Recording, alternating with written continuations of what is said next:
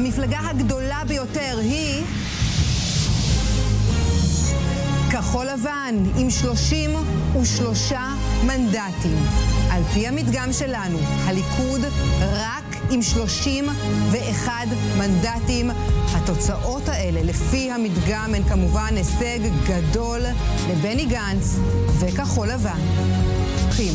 הרשימה השלישית בגודלה היא הרשימה המשותפת עם 13 מנדטים. ש"ס של אריה דרעי עם תשעה מנדטים מגדיל את כוחו. אביגדור ליברמן, ישראל ביתנו עם שמונה מנדטים, ואולי עם המפתחות לראשות הממשלה. יהדות התורה עם שמונה מנדטים.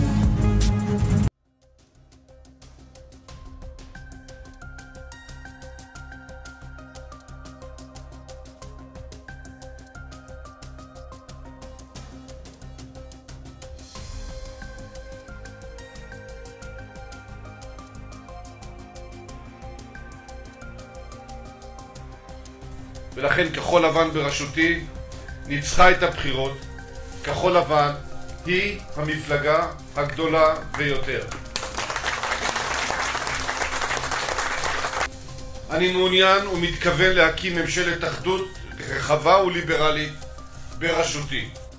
לאחר שהקמנו את גוש מפלגות הימין, קיימות רק שתי אפשרויות: או ממשלה בראשותי, או ממשלה מסוכנת שנשענת על המפלגות הערביות.